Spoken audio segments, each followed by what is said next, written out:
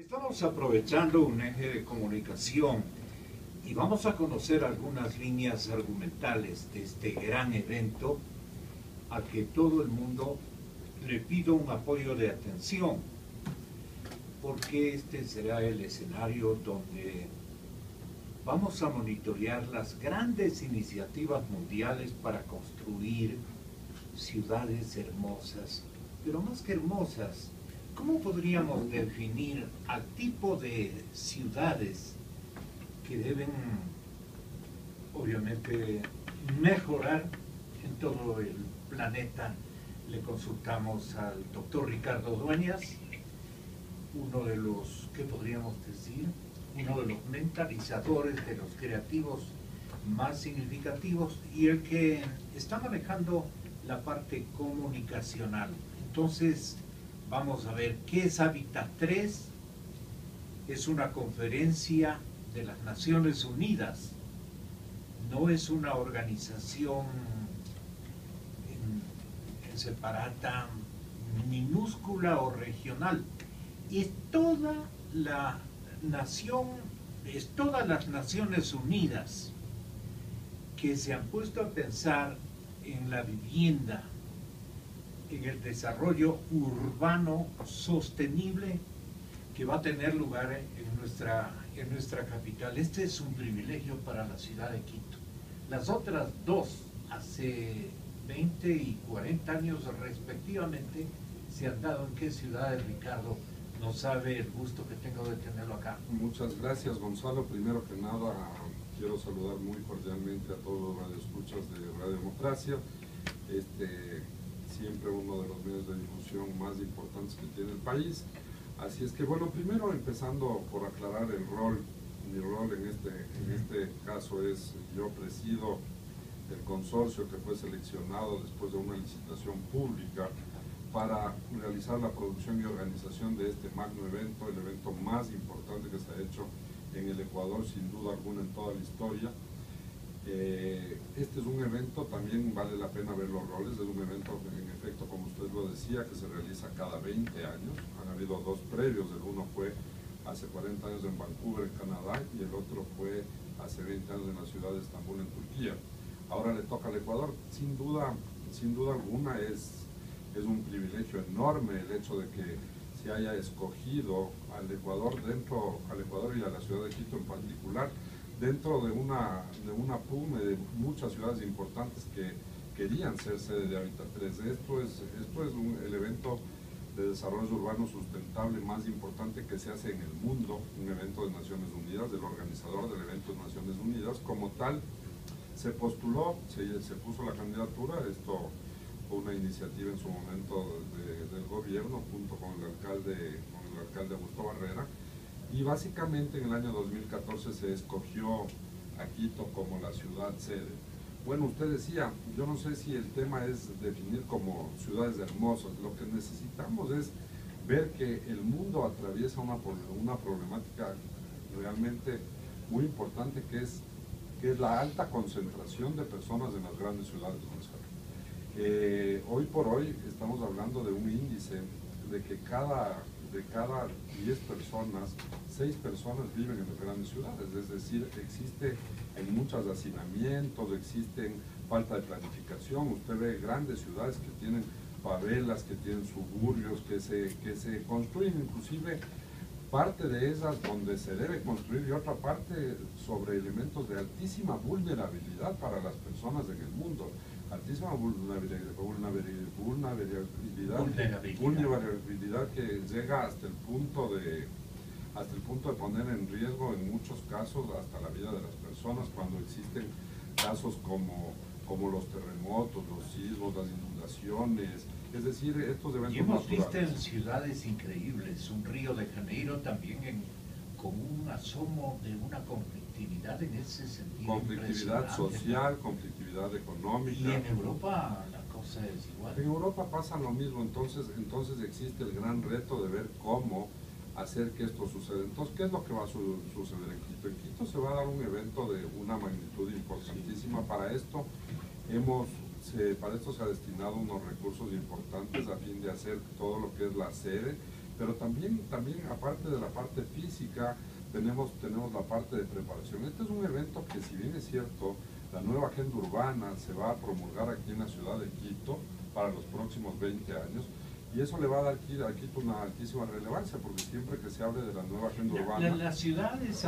las ciudades anfitrionas pasan a ser un ejemplo eh, que, en donde todos los técnicos, los mentalizadores, los visionarios, arquitectos y constructores de todo el planeta van a fijarse en nuestra ciudad para como una especie de ejemplo de lo que tienen que ser otras urbes más o menos de las mismas características. Bueno, Esto explíquenos. Bueno, de hecho, de hecho, de hecho es importante saber que para que se dé esto en Quito han sucedido eventos, eventos preparatorios importantes que se han dado en todo el mundo. Hemos tenido el evento de la preconmensura Valla, se, se hicieron eventos en Nueva York, hubo un evento regional en Toluca, hubo un evento eh, hubieron eventos, eventos en Barcelona, etcétera, en varias ciudades para ir discutiendo la nueva agenda urbana. El tema, Gonzalo, y para que ahí se, ahí se va armando todos los eventos preparatorios y todas las líneas argumentales y todo lo que va a ser parte de la nueva agenda urbana. Pero lo que es importante saber es que en las ciudades pasa, pasa todo.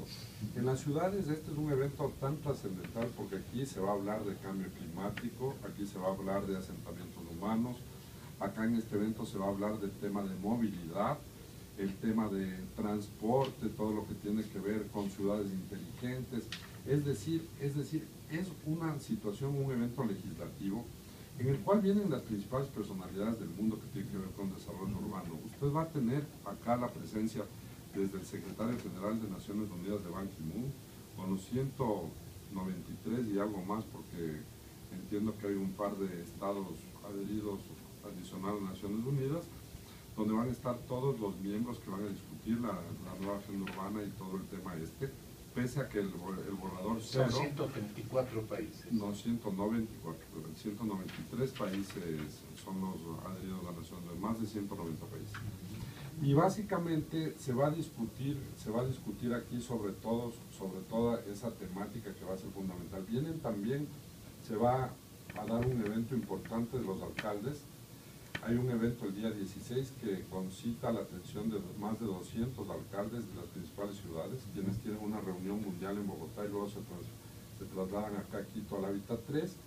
Y en el Hábitat 3 se producen, tenemos también varias salas de reuniones. Todo esto, como yo le informaba a la ciudadanía, se va a dar en un complejo el cual pasa a ser jurisdicción de Naciones Unidas por ese tiempo.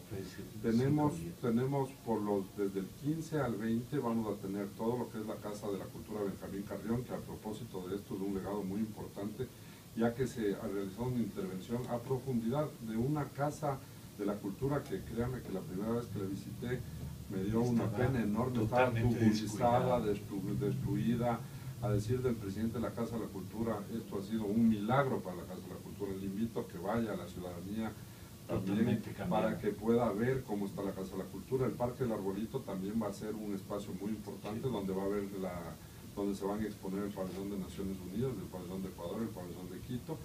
Y después el complejo se extiende hasta la Asamblea Nacional, donde se, se está montando una infraestructura cubierta de más de una hectárea, a fin de recibir a los expositores. En los expositores están los gobiernos de los diferentes países, están las empresas que también prestan servicios que prestan servicios a todo lo que es el desarrollo urbano y tenemos también la, tenemos la presencia de ONGs, etcétera. Entonces, de aquí va a salir un, un, documento legislativo que va a servir de guía los próximos 20 años, a fin de que las ciudades, tanto Quito como ciudad sede del Ecuador, ha jugado un papel muy importante en estas negociaciones, así como el resto de países, entiendan que tiene que haber unas ciudades con mejor planificación, que tiene que haber unas ciudades con mejor ordenamiento jurídico, que estas ciudades tienen que tener, tienen que tener permisos acordes, la tramitología tiene que bajar, la parte de ciudades inteligentes entendiendo no solo como ciudades digitales, sino entendiendo como ciudades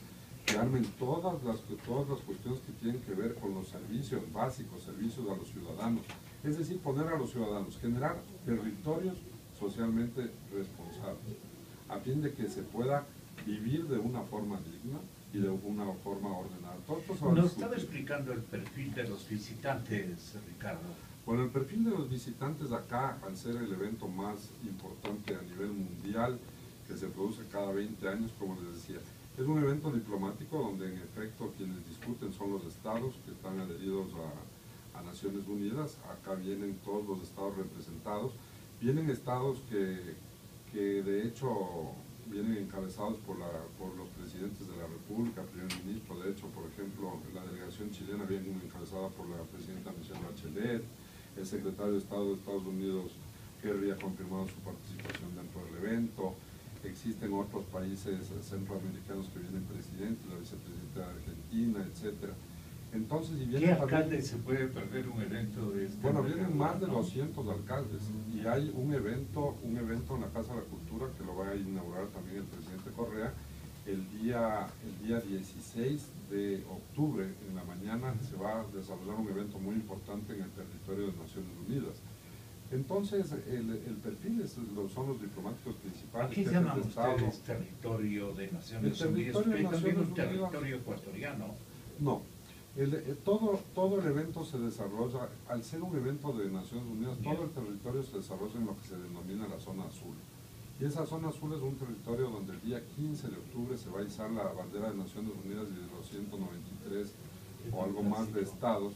Entonces se cierra todo el complejo. Usted verá, sí, definitivamente, usted verá que ya todo está cerrado, el parque, la, eh, la Casa de la Cultura, Parque El Arbolito y hasta la Asamblea Nacional. Son más de 120 mil metros los que van a estar, los que pasan a ser un territorio de, temporalmente con soberanía de Naciones Unidas, no del Ecuador. Es decir, ahí no va a haber seguridad ecuatoriana, no hay policía, etcétera. Todo el perímetro de seguridad se va a dar alrededor de este evento. Pero yo quería también comunicar algo que es relevante, la importancia que esto tiene. Esperamos, tenemos ya al día, a la semana pasada, sobre los 10.000 acreditados internacionales para asistir a este evento. Y de hecho también, también el registro local, a lo cual invito a todas las personas que quieran ser parte, porque la voz de los ecuatorianos, la voz de las personas que hacen urbanismo, que están en la construcción de las ciudades, que quieren enterarse de estos temas, donde aparte de aparte de la discusión de la agenda urbana, y de la promulgación del documento, también van a haber side events, eventos complementarios paralelos, donde van a haber una, van a haber como 200 eventos que ya están precalificados por Naciones Unidas que se van a dar en, casi 30 salas que se han adecuado en la Casa de la Cultura Benjamín Carrión. Entonces usted va, a ver, va a tener eventos que ya están en la agenda. Si ustedes entran a la página de Hábitat oficial de Naciones Unidas, ustedes ya van a poder ver toda la agenda e interesarse en cualquier cosa. Y quien quiere registrarse gratuitamente, sin costo, lo puede hacer en www.vivehabitat3.es para que puedan ser parte de este evento. ¿Le repetimos? www.vive,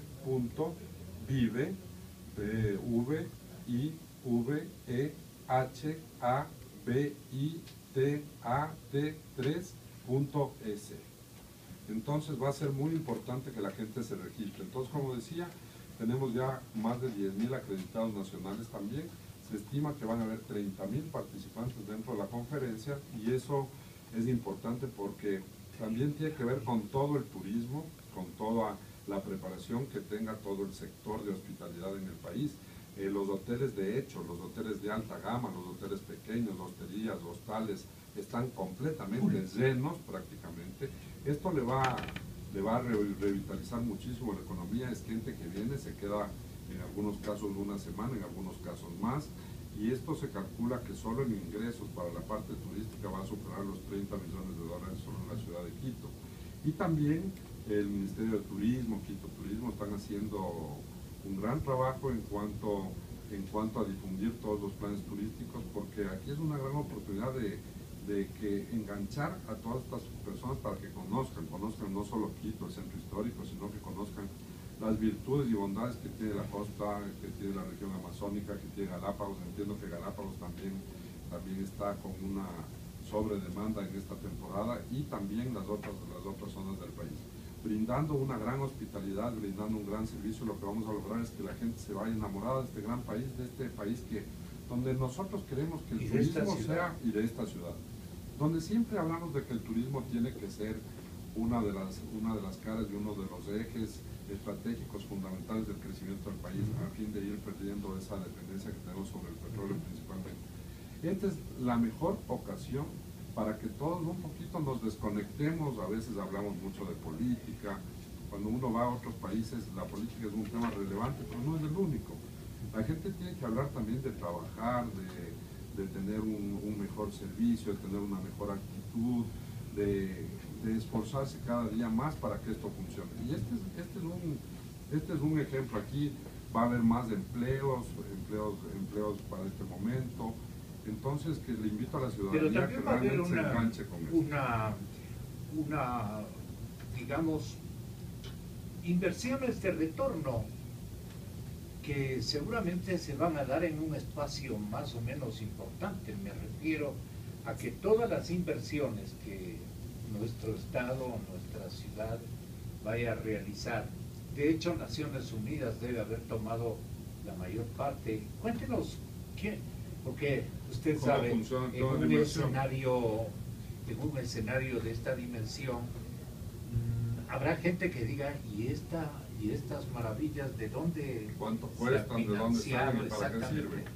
Bueno, esto, esto al ser un, al ser un evento que se hace en el Ecuador, eh, créame que, que, aparte de ser un privilegio que el Ecuador sea sede de un evento de esta magnitud, del cual se va a hablar los próximos 20 años y el cual va a ser huesa y, es parte fundamental del cambio del planeta, que eso ya creo que es muy importante. Muchas veces hablamos de lo que es, cómo funciona el tema del turismo. Una de las cosas fundamentales es lo que se denomina la marca país. Una de las cosas fundamentales es cómo estar en el top of mind, en la mente de los consumidores del turismo, etc. El problema es que al Ecuador muy poco se lo conocen. Entonces este tipo de eventos lo que hacen es reforzar esa marca a fin de que la gente lo identifique y la, gente, y la gente entienda, hable con recomendadores que son a los que les invito a que les atiendan bien. El hecho de que se vayan 10 mil, 15 mil personas de buen nivel del país hablando bien, va a repercutir a futuro en que mucha gente venga, esa gente con sus familias, etc. Pero la inversión, eh, Naciones Unidas normalmente hace sus eventos en sus sedes, eh, en la sede de Nueva York, en la sede de Ginebra este tipo de eventos se hacen y las ciudades se pelean fuertemente, no solo por ser, como digo, tener privilegios, sino porque también es un gran negocio, porque lo que se invierte se recupera con creces desde el punto de vista económico. En este evento, que a propósito de un evento que se está haciendo con una, con una austeridad importante, porque para ponerles un ejemplo que quien, quien quiera puede investigarlo, en Perú se hizo el evento de cambio climático, un evento similar con Naciones Unidas, en el cual se gastó 70 millones de dólares y no quedó nada, porque todo se invirtió en unas grandes carpas de infraestructura que se montó, luego se desmontó y se fue todo. Aquí en el Ecuador se está haciendo este evento con una inversión de 31 millones. De esos 31 millones, 7 millones se están invirtiendo en la, en la remodelación, en la intervención de la Casa de la Cultura. Oh, Otra parte va a fondos para movilizar naciones, agentes de Naciones Unidas que obviamente se tiene que movilizar. Y realmente lo que se está haciendo en el Ecuador es, se está invirtiendo 21 millones de esos 31, 10, 10 se utilizan en toda la parte internacional y de esos 21, como le digo, 7 van a la Casa de la Cultura, quedan 14. Con, todo, con 14 millones se está haciendo todo lo demás que tiene que ver con este evento que son temas de comunicación, logística, interpretación, adecuación de, ciertas cosas, la campaña internacional de difusión, es decir, con menos de la mitad de lo que se hizo el evento de Perú. Y solo la parte turística, solo la parte de ingresos turísticos va a superar esos 35 millones. Después tiene el empleo que se genera, empleo que se genera para lo que es la Casa de la Cultura, sector hospitalidad, hoteles, en temas de traducción, en temas de voluntarios. Este es un evento que solo la semana esa lo atienden aproximadamente 3.000 personas. Dentro de eso, ¿Tiene un cálculo de periodistas de turismo, de 800 periodistas, acreditados, 800 periodistas entre locales e internacionales están acreditados para el evento. Entonces la repercusión, usted conoce muy bien el rebote que va a haber es un evento que cuando uno va a las ruedas de prensa internacional realmente ve con el interés que suscita las agencias de EFE, Reuters, entrevistas del CNN, en el Washington Post, en, el, Financial Times, etcétera. Todos estos medios están muy involucrados y usted habrá visto, yo tengo que recoger y felicitar en este caso, por ejemplo, a medios de comunicación como el suyo, como Visión, que nos han dado espacios importantes, el diario El Comercio, creo que ha tenido una, una ha jugado un papel fundamental en la difusión, en la difusión eh, para, he visto una una cobertura de Hábitat 3, de contenidos eh, editoriales muy importantes en cuanto al seguimiento que ha dado el diario del comercio de forma muy responsable. Entonces, el Ecuador tiene una gran oportunidad que no la puedes desperdiciar. Háblenos de la vitrina que va a ser en nuestro país y nuestra ciudad especialmente. Bueno, de hecho, de hecho a nivel internacional del 15 al 20 de octubre el Ecuador en temas de desarrollo urbano y de todo lo que tiene que ver con las ciudades va a estar con presencia en todo en toda la discusión que se dé en el mundo, en los principales canales, en los principales medios de comunicación en el mundo. O sea, lo que pase aquí tiene una repercusión en los próximos 20 años fundamental. De aquí va a salir el documento guía para que todos los países suscritos a ese documento tengan que, tengan que, tengan que recorrer esas bases para lo que es la planificación, la ejecución de las estrategias. Los gobiernos locales, por ejemplo, tienen que jugar un papel muy importante porque toda la ejecución de eso se va a dar en los gobiernos locales. Vienen, como le decía, los alcaldes de las principales ciudades. Es decir, de acá, esos días vamos a tener una vitrina enorme. Y después, después los 20 años de ejecución, también siempre se va a hablar de la ciudad de Quito como como la sede de lo que va a Queda como una marca destino, ¿no? Va a quedar como, una, como una marca destino. y esto puede ser positivo, puede ser negativo, depende cómo lo manejemos. ¿Usted cuántas veces oye hablar de, por ejemplo, de, de, la reunión que se dio en Kioto de una forma negativa? Porque dice, no suscribieron el tema del desarme nuclear, etcétera. Entonces acá en Quito, en el momento que se suscriba la, agenda urbana, la declaración, que ya el draft cero es una gran noticia, ya fue aprobado en Nueva York, entonces ya es un hecho que vamos a tener humo blanco y vamos a tener un documento positivo. Entonces el hecho de que eso se siga hablando los próximos 20 años y se repite y se repita y siempre se hable del documento de la nueva agenda urbana promulgada en la ciudad de Quito para nuestra capital y para el Ecuador es algo que debemos, debemos utilizar. ¿El impacto económico turístico repartirá a otras urbes de nuestro país?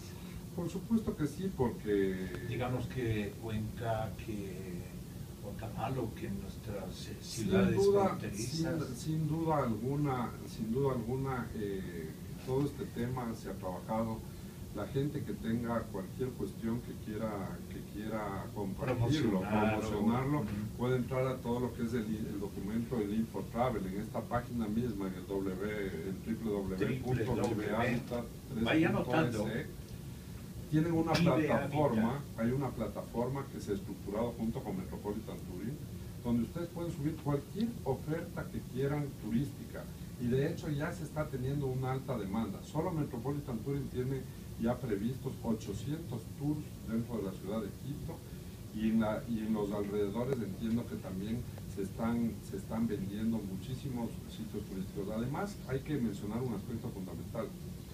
Como la, la, capacidad, la capacidad de los hoteles de Quito está saturada ya, van a tener una gran oportunidad también los otros hoteles que estén a una distancia no muy lejos, pero, pero que, estén también en los valles, etcétera, para recoger gente.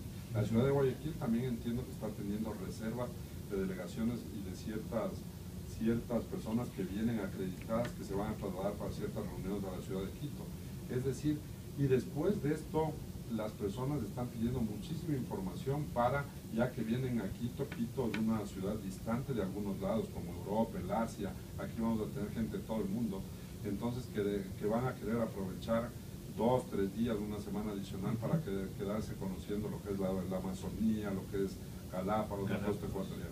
¿Hay un ranking de, de, interés turístico que ustedes eh, vayan a dejar como un legado para tener una referencia actualizada de lo que más conquista la expectativa internacional. Bueno, sí, sí, y es, una, y es una muy buena idea. Después de, después de la conferencia podemos sacar toda la data para ver, es una, yo sí le entiendo, es un punto, es un punto de partida, una gran medición para saber cuáles son los puntos más atractivos para una que impacto, que provoquen impacto en 10.000 personas o 15.000 personas que es que es un, ¿A dónde una masa crítica la importante. de esta iniciativa, Ricardo? Bueno, esa iniciativa les va a tener que compartir a todos los que tienen negocios turísticos, que no es mi caso, que son los que verdaderamente se van a beneficiar de este tema. Nosotros lo que tenemos de forma responsable es poner todas las herramientas como es la plataforma Infotravel que hemos desarrollado para que todos los hoteles puedan, puedan servirse de esto. Yo veo también una gran, un gran movimiento en la capacitación. Ahora los hoteles, los restaurantes, etcétera, vienen capacitándose de forma interesante para atender el hábitat 3, porque claro, como tenemos una gran demanda, vamos a tener que estar que estar al nivel para poder atender. Y el nivel de visitantes lo exige. Y el nivel de visitantes es un nivel importante. Entonces también hay otra cosa, no solamente es el número, sino es, la, es el nivel de esos visitantes, sobre todo en cuanto al ticket promedio de consumo. Son gente que puede consumir, de hecho usted puede ver que de los hoteles de gama alta, que pocas veces habían podido cobrar pero prácticamente la tarifa RAC. Usted tiene hoteles que en temporada baja, 5 estrellas, cobran 100, 120 dólares una noche, ahora están vendiendo las noches en 400 dólares, haciendo un gran negocio, todo está repleto. Y eso, y eso van a ser ingentes recursos que van, Sin caer en explotación. No, no, no en, eso, en eso se ha tenido una, una conversación muy, muy, muy sincera, se ha puesto las reglas de juego muy claras. No hemos tenido denuncias fundamentadas de que, que era una de las preocupaciones, porque en otras ciudades ha pasado. No hemos tenido denuncias fundamentadas que se pueda ver que los hoteles hayan violado la tarifa RAC llegando a una especulación. Pero las tarifas caras, cuando hay alta demanda, es un tema de oferta-demanda, tienen derecho también de, hacer un gran negocio en este momento y aprovechar. Y eso ojalá luego va a ser el caso que se va a ver reinvertido en el sector turístico y con eso van a tener un flujo de caja para mejorar la infraestructura turística del país. Felicitaciones, eh, anhelos muy sinceros de que todo lo que ustedes ah, con gran premeditación, con coraje, con calidades, en plural, han logrado establecer para que el país quede bien. Eh, sí, en infraestructura se ha logrado hacer algo importante. También creo que es digno de resaltar el trabajo que ha hecho el MIDUBI en este caso. El MIDUBI es el eje fundamental en cuanto a lo que se refiere a la Rectoría de Desarrollo Urbano Sustentable. La ministra Duarte, junto con una delegada del gobierno de Francia, tuvieron, tuvieron el alto honor de presidir toda la preparación del evento y también han trabajado mucho en los ejes conceptuales, en, en los aportes de la agenda urbana como país entonces también, también quiero reconocer que el Ministerio de Desarrollo Urbano ha estado muy, muy metido en el, en el día a día de esta organización, en contacto con Naciones Unidas, en una actividad bastante sacrificada. Estas negociaciones yo hasta que las he podido ver, ver de cerca, no me imaginaba que consumían tantas horas y tantos viajes, tanto, es, es, es un, proceso, un proceso sumamente sumamente de fondo el que se ha llevado a cabo, así es que también es importante ver cómo la empresa privada, el, gobierno nacional en este caso, dependiendo intereses particulares, etcétera, se han unido para que esto salga bien. Yo creo que está muy bien organizado, creo que el Ecuador está preparado para recibir, los contenidos han sido bien elaborados y la infraestructura está a punto, la Casa de la Cultura va a estar en los próximos días ya lista para recibir a todos los visitantes, pues a todos no tenemos los, mejores servicios de traducción, los mejores servicios audiovisuales, la parte de oreca, de comidas es otro desafío, dar de, comer a toda esta gente que, que, no, que no se le puede dar de comer cualquier cosa, sino la parte de oreca tenemos que tener comida para los, para los musulmanes, tenemos que tener comida para los orientales, para los occidentales, para los judíos, para, todas estas, para toda esta gama de personas. Entonces, entonces es un evento de muchísimos detalles, se ha trabajado con, más de 500 proveedores a nivel local, que están de todas las industrias, industria metálica, industria de visuales, de wifi. Bueno, de hecho, nosotros como eje fundamental para, para, para nuestra compañía y para Semaica, que es, el, que es el consorcio que hicimos, que había que hacer con las mejores firmas. Nosotros hemos trabajado esto con Sevilla y Martínez, hemos trabajado esto, esto lo hemos trabajado con Metropolitan Touring en la parte de turismo, que es una de las empresas que más conoce el turismo, si no es la que más en el país. Hemos trabajado con los medios de, de comunicación difundiendo de forma sin ninguna segregación de nadie. Aquí una de las cosas que ha, que ha sucedido aquí, todos los medios de comunicación importantes del país han participado en este tema, Naciones Unidas en eso es muy cuidadoso, hemos trabajado mucho de la mano de Naciones Unidas. Para nosotros como empresa y para mí, para mí al frente de este gran proyecto tan importante para el Ecuador, ha sido un orgullo y un aprendizaje diario. Realmente el haber coordinado una cosa de tanta profundidad, eh, créame que le ha hecho a nuestra compañía también tener unas características de clase mundial que ayudan a que podamos hacer un evento de esta magnitud que antes estaban solamente estaban seleccionados para las grandes multinacionales y ahora lo hemos hecho aquí en el Ecuador y creo que está a punto y va a salir, va a salir muy bien Gonzalo. muy bien, felicitaciones y que todo sea un, éxito sin precedentes, porque no va a haber precedentes con un evento de este no va a haber precedentes, no hay, pero lo que sí va a haber es un futuro si Quito y el Ecuador quieren consolidarse como un destino turístico que también, tenga, que también tenga altísimas características para recibir las grandes convenciones internacionales. Siempre se habla de un turismo de negocios que es importante. Esta va a ser la base. Y después tendrán que pensar qué hacen con la Casa de la Cultura. Van a aprender también. Va a quedar la Casa de la Cultura a punto, que no sería descabellado pensar en un futuro de la Casa de la Cultura como un gran centro de convenciones internacionales, sin dejar de lado obviamente la parte cultural, que tenga la parte patrimonial, etcétera. Le invito desde ya. Vamos en los próximos días a hacer una, una rueda de prensa desde la Casa de la Cultura, donde vamos a, invitar a, a, selectos líderes de opinión, como que sin duda usted tiene que ser de los principales invitados, Gonzalo, para que nos acompañen y vean cuál es la realidad del trabajo que se ha hecho. Y ese trabajo a futuro se puede realizar una alianza a fin de que, no dejando de lado la parte cultural, la parte literaria, la parte que, tiene que estar en la Casa de la Cultura, pero, pero no, no es descabellado pensar en que ese sea el principal centro de convenciones del país ya está montado. 54 mil metros cuadrados cubiertos, todo revitalizado, porque lo, lo, peor que podría pasar es que regresemos en 5 o 10 años y otra vez esté destruida y tuburizada como la recibimos antes de habitar. Muy bien, hay inversión económica, pero mucho más, ha habido una inversión de talento con visión y con decisión, que la conocemos y la ubicamos en su persona y en su liderazgo. Así es que muchas gracias a nombre de la ciudad, a nombre del Ecuador, por todos los empeños que con sus colaboradoras y colaboradores usted ha logrado encender. Así es que la expectativa está generada. Muchísimas gracias Ricardo, hasta una próxima oportunidad. ¿Cuándo será? El evento se desarrolla desde el 15 al 20 y, una, y quizás podríamos conversar la semana previa. Y ojalá esa semana también aprovechando que va a haber tanta gente importante aquí, pueda tener en estos micrófonos compartiendo temas relacionados con Habitat 3 de primera, de primera línea, los cuales ONU seguro que los va a coordinar. Yo también puedo conversar para que, para que este medio tenga una, una altísima, o sea, tenga una, ustedes tengan una acogida importante de esos visitantes internacionales que pueden compartir grandes cosas. Le haremos quedar bien, de eso estamos seguros. Muchas gracias, señoras y señores.